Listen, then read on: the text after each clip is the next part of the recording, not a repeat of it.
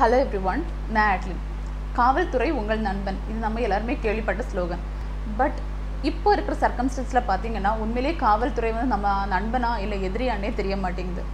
போன வருஷம் தூத்துக்குடியில் ஜெயக்குமார் ஃபெலிக்ஸ் இப்படி ரெண்டு இவங்க தந்தை மகன் இருவரையுமே வந்து போலீஸ் ரொம்ப கொடூரமாக அடித்து கொடுப்படுத்தி கொலை பண்ணிட்டாங்க. அதுக்கப்புறமா அமெரிக்காவில் ஜார்ஜ் ஃப்ளாய்ட் அப்படிங்கிற கருப்பின ஒரு பர்சனை வந்து காலால் கழுத்திலே மிதிச்சே கொலை பண்ணிட்டாங்க.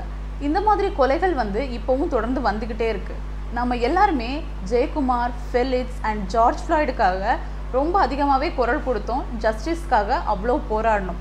பட் நாம் எல்லாருமே மறந்து போன ஒரு விஷயம் கணபதிக்காக குரல் கொடுக்கறது தான்.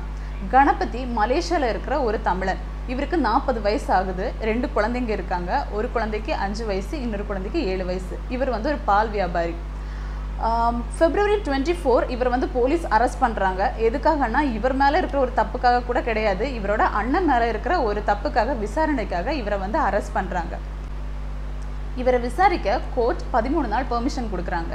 ஸோ இவர் ஃபெப் டுவெண்ட்டி ஃபோர் கூட்டிகிட்டு போகிறாங்க கூட்டிகிட்டு போயிட்டு இந்த பதிமூணு நாளில் Feb twenty eight March three six seven இந்த நாலு நாள் வந்து இவரை ஹாஸ்பிட்டலுக்கு கூப்பிட்டு போயிருக்காங்க. விசாரணை நடக்கும்போதே இவருக்கு உடம்பு சரியில்லாமல் ஆயிருக்கு. ஏன்னா இவர் already diabetes and heart patient so இந்த நாலு நாள் ஹாஸ்பிட்டல் கூப்பிட்டு போயிருக்காங்க. அதுக்கப்புறமா மே எயிட் ஓகே இவர் மேலே எந்த தப்பும் இல்லை அப்படின்னு சொல்லிட்டு போலீஸ் டிக்ளேர் பண்ணி இவரை ரிலீஸ் பண்ணுறாங்க பட் ரிலீஸ் பண்ணுறது எங்கன்னு பார்த்தீங்கன்னா ஹாஸ்பிட்டல் ரொம்ப சீரியஸாக ஐசியூவில் ஓகே இவர் மேலே தப்பு இல்லை அப்படிங்கிறது மாதிரி சொல்லிட்டு விட்டு போயிடுறாங்க.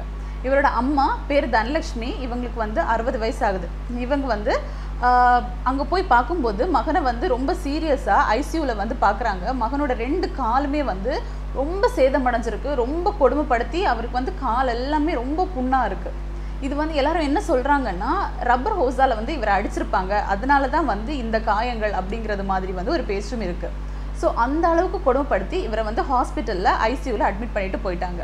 அதுக்கப்புறமா இவருக்கு வந்து ஆப்ரேஷன் பண்ண வேண்டியிருக்கு. ஏன்னா ஆல்ரெடி டயபெட்டிஸ் பேஷண்ட் இல்லையா?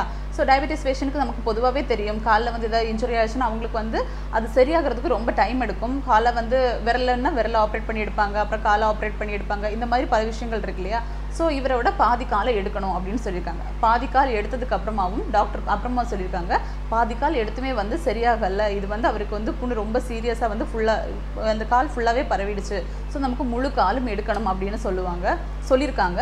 அதுக்கும் வந்து அந்த தாயால் வேறு எதுவும் பண்ண முடியாது இல்லையா? ப பையனோட உயிர் மட்டும் கிடைச்சா போதும் அப்படிங்கிறது மாதிரி வந்து அதுக்கும் சம்மதிச்சிருக்காங்க. ஸோ காலு முழுசாக ஆப்ரேட் பண்ணி எடுத்திருக்காங்க. பட் லேட்டராக பார்த்தீங்கன்னா இவருக்கு இந்த இன்ஃபெக்ஷன் வந்து அவரோட யூரினரி பார்ட்ஸ் எல்லாத்துலேயுமே ஸ்ப்ரெட் ஆகி ரொம்ப சீரியஸ் ஆகி இவர் ஏப்ரல் எயிட்டீன் இறந்தே போயிடுறாரு. மார்ச் எயிட் இவங்களை ஹாஸ்பிட்டலில் அட்மிட் பண்ணியிருக்காங்கன்னு சொன்னல அதுக்கப்புறம் மார்ச் லெவன் லெவன் இவரோட அம்மா தனலட்சுமி இவங்க ஒரு கேஸ் வந்து ஃபைல் பண்ணியிருக்காங்க. ஏப்ரல் எயிட்டீன் இவர் இறந்ததுக்கு அப்புறமா கேஸ் ஆல்ரெடி ஃபைல் பண்ணதுனால இது ஒரு சர்ச்சைக்குரிய விஷயமா அங்கே பேசப்பட்டுச்சு. அதுக்காக காம்பேக்ட் டிஸ்ட்ரிக்ட் போலீஸ் சீஃப் என்ன சொல்லியிருக்காங்கன்னா இவரை வந்து போலீஸ் கொடுமைப்படுத்தி தான் கொலை பண்ணாங்க அப்படிங்கிறதுக்கான எந்த ஒரு ஆதாரமும் கிடையாது. ஏன்னா இவருக்கு ஆல்ரெடி நாங்கள் வந்து அரெஸ்ட் பண்ணும்போதே சில பல இன்ஜுரிஸ் இருந்துச்சு. இந்த இன்ஜுரிஸ்க்காக தான் நாங்கள் அவரை நாலு வாட்டி ஹாஸ்பிட்டலுக்கு கூட்டிகிட்டு போனோம் அப்படின்னு வந்து சொல்லியிருக்காங்க அது மட்டும் இல்லாமல் இவர் என்ன சொல்லியிருக்காங்கன்னா நாங்கள் ஃபிஃப்த் டுவெண்ட்டி ஃபோர் அவரை அரெஸ்ட் பண்ணதுக்கு அப்புறமா fifth twenty five and March two two and six இந்த மாதிரி மூணு நாட்களில் நாங்கள் வந்து கோர்ட்டில் இவரை ப்ரொடியூஸ் பண்ணோம். கோர்ட்டில் இவர் ஜட்ஜ் கிட்ட கூட எங்களை வந்து போலீஸ் வந்து துன்புறுத்துறாங்க. அந்த மாதிரி எதுவுமே வந்து பதிவு பண்ணலை. ஸோ இவர் வந்து போலீஸ் கொடுமைப்படுத்தியிருக்க சான்ஸே இல்லை அப்படிங்கிறது மாதிரியும் சொல்லியிருக்காரு. நம்ம வந்து எல்லாருமே தூத்துக்குடி கேஸ்லேயே பார்த்தது தானே. இவ்வளவுக்கு வந்து ஜெயக்குமார் அண்ட் ஃபிலிக்ஸை கொடுமைப்படுத்தியுமே அவங்க ஜட்ஜு கிட்ட எதுவுமே சொல்லலை. அண்ட் ஜட்ஜ் கிட்ட கூட்டிகிட்டு போகும்போது கூட அதுக்கேற்றது மாதிரி வந்து போலீஸ் ட்ரைனிங் கொடுத்து தான் கூப்பிட்டு போனாங்க அப்படிங்கிறது மாதிரியெல்லாம் நம்ம பல விஷயங்கள் வந்து இந்த கேஸ்லேயே பார்த்துட்டோம். ஸோ இதை தான் அங்கேயும் வந்து அவங்க பதிவு பண்ணியிருக்காங்க. மலேசியாவில் லாக்அப் டெத்ஸ் ஒன்றும் புதுசு கிடையாது. மலேசியாவில் பார்த்தீங்கன்னா ஓல் பாப்புலேஷன்லேயுமே செவன் பர்சன்டேஜ் இந்தியன்ஸ் இருக்காங்க.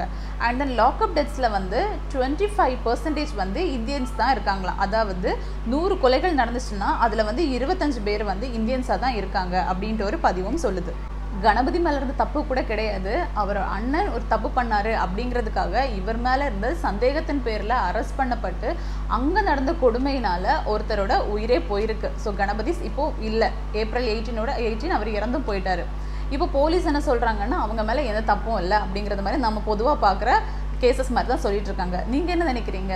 உங்களோட பதி உங்களோட கருத்துக்களை வந்து கண்டிப்பாக கமெண்ட்ஸில் சொல்லுங்கள் ஏன்னா வந்து நீங்கள் வந்து இல்லை இவருக்கு வந்து ஆல்ரெடி டயபெட்டிஸ் எல்லாம் இருந்துச்சு. அதனால வந்து இறந்து போயிருப்பாரு அப்படிங்கிறது மாதிரியும் சில டாக்ஸ் இருக்குது அண்ட் மோஸ்ட்லி வந்து லாக்அப் டெத்ஸ் அங்கே காமனாக இருக்கிறதுனால போலீஸால் தான் இவர் இறந்து போயிருக்காரு அப்படின்னு சொல்லிட்டு ஹண்ட்ரட் பர்சன்ட் ஷுவராக வந்து நம்புகிறாங்க எல்லாருமே.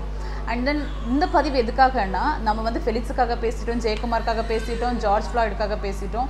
இந்த மாதிரி பல ஆட்களுக்காக நம்ம பேசினதுக்கு அப்புறமாவும் இந்த மாதிரி கொடுமைகள் எல்லாம் இன்னும் கன்யூஸாக நடந்துட்டு இருக்கு ஸோ மலேசியன் மக்களுக்காக கூட ஒரு நீதி கிடைக்கணும் இல்லையா? இன்னைக்கு நம்ம கணபதிக்காக பேசினதா நாளைக்கு வந்து இந்த மாதிரி இன்னொரு கணபதி வந்து அங்கே உயிரை விடாமல் இருப்பார் அப்படிங்கிறத வந்து நான் ஸ்ட்ராங்காக நம்புகிறேன் ஸோ நம்ம வந்து ஒன்றா குரல் கொடுத்தா கண்டிப்பாக ஏதாவது ஒரு சேஞ்சஸ் வரும்.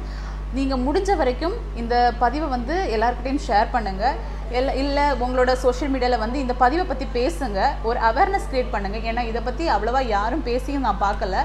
ஸோ ஒரு அவேர்னஸ் க்ரியேட் பண்ணி கணபதிக்கான ஜஸ்டிஸை வந்து வாங்கி கொடுக்க நெக்ஸ்ட் வீடியோவில் மீட் பண்ணலாம். பாய்